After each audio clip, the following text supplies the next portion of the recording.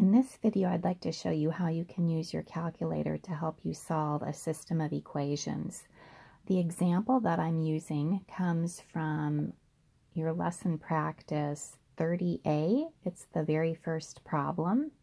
I have it written up here. And the first thing that I did was I constructed my coefficient matrix and I've color coded this so you can see where these numbers came from. The numbers in my coefficient matrix are the coefficients that actually accompany each of the variables in the equations above. And something that's really important for you to note is that if there is a negative sign in front of any of the coefficients, you need to make sure to include that negative sign in your matrix. After I came up with my coefficient matrix, I also constructed my constant matrix. And remember, the constant matrix comes from the constant terms that appear at the right of the equal sign.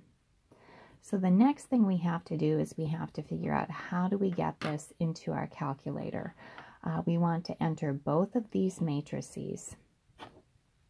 So I have my calculator here, and I'm going to reposition things a little bit.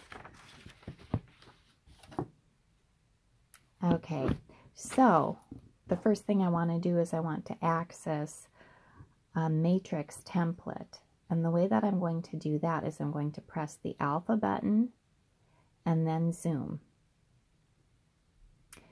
And it's going to put this little screen up here and I need to select the dimensions of my matrix.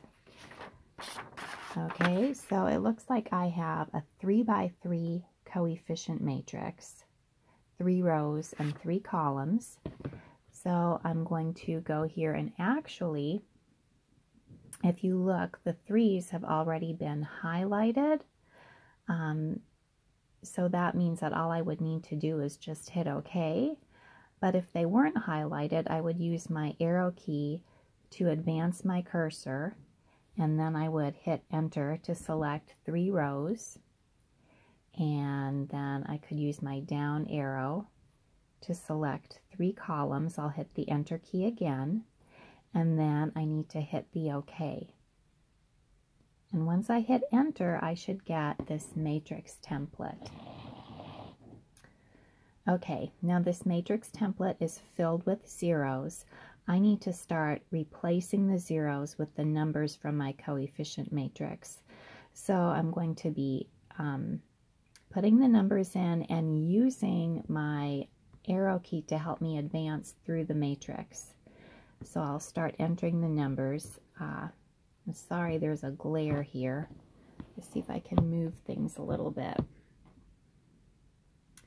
Okay, so the first number is 3.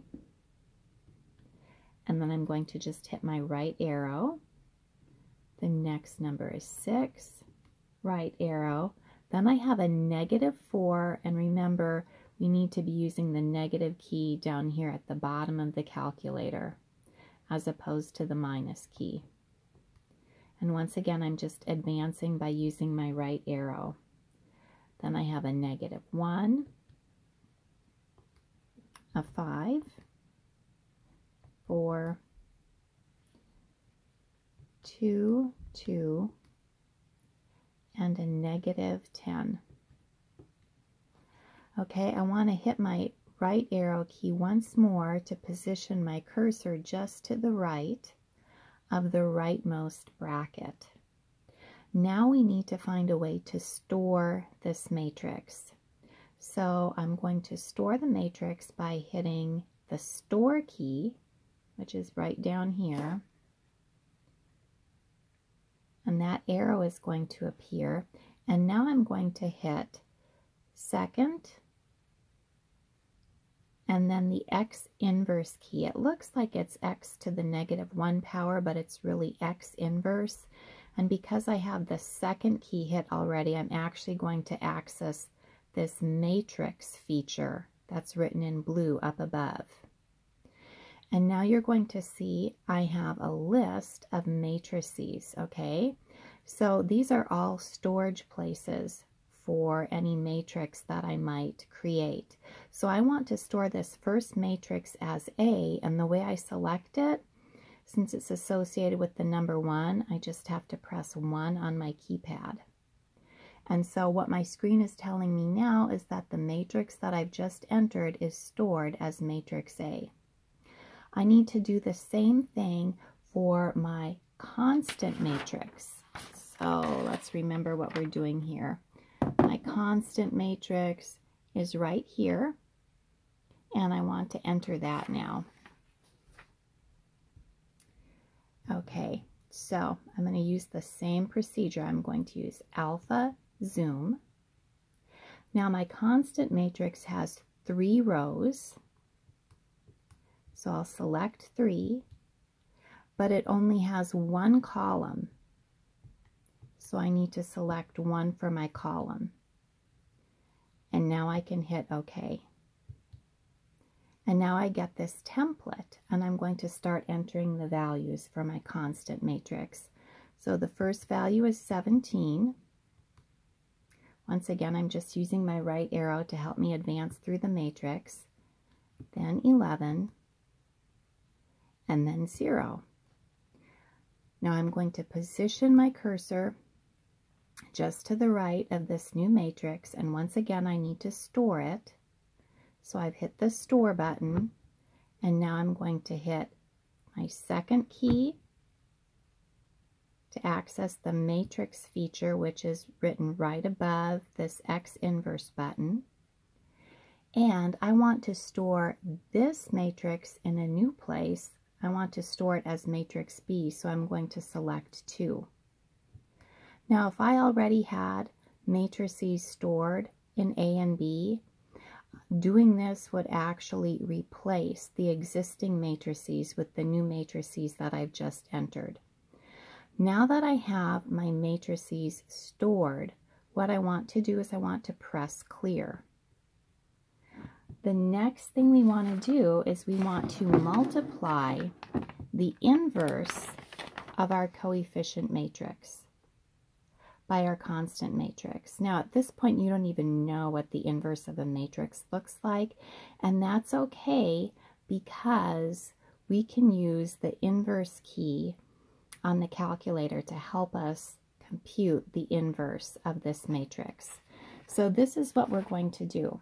The first thing we want to do is we want to access matrix A because remember we are multiplying the inverse of matrix A times matrix B, and that's going to give us our solutions. So to access matrix A, once again, I'm going to hit second, and then the X inverse button, and I'm going to press 1 to select matrix A, and then I'm going to hit that X inverse button again. And now I have the notation for the inverse of matrix A.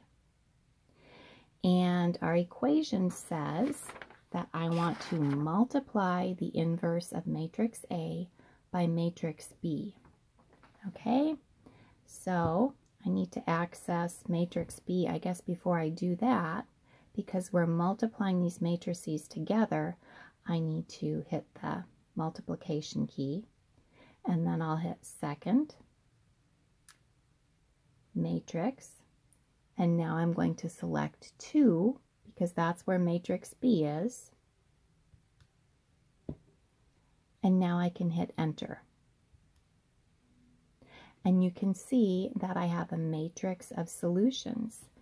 Um, and so what this says, this 3 is our value for x, this 2 is our value for y, and the 1 is our value for z.